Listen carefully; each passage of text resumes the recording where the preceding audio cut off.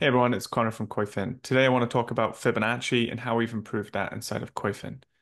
Previously, we had Fibonacci retracement lines inside of Koyfin charts, which you could access down here in the annotations menu. And these levels help traders identify potential support and resistance areas where the price of the security might reverse again and continue in the direction of the prevailing trend.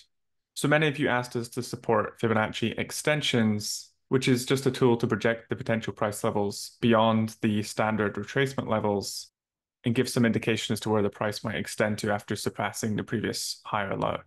We also made a few other customization updates as well, so I'll demonstrate those for you today. So to demonstrate this, I'll go to the Fibonacci in the annotations window here and select that, and then just drag this across the chart. And you'll notice a few new things here.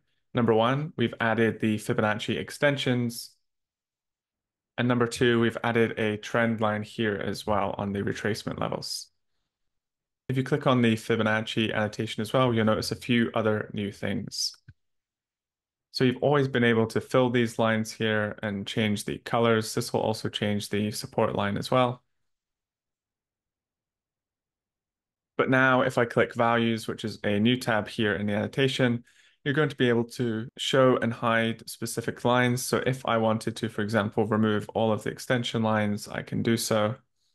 Alternatively, if I want to keep those lines in there but make some distinction between the retracement and extensions, I can color code each individual line, like so.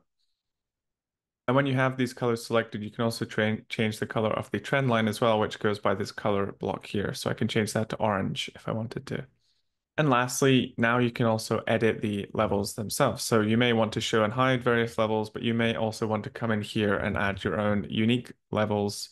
And these will be calculated in the chart directly and give you some more customization as to how you use these Fibonacci lines. If you take the time to set up this preferred view in the Fibonacci sequence, these are saved when you're traveling around Koyfin. So if I go ahead and change the security to NVIDIA, for example, when I come back to add Fibonacci lines to this other security, it's going to save all of my preferences there.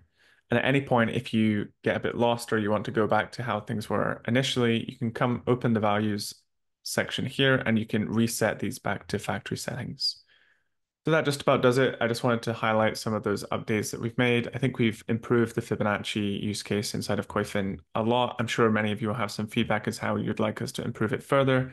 So as always, drop a comment in the comment section below. Our help desk is help at koyfin.com and we're at Koyfin Charts over on Twitter. Alternatively, if you want to make a feature request, we do have this feedback board here in Koyfin, which you can select, go to feature requests, and then make an entry.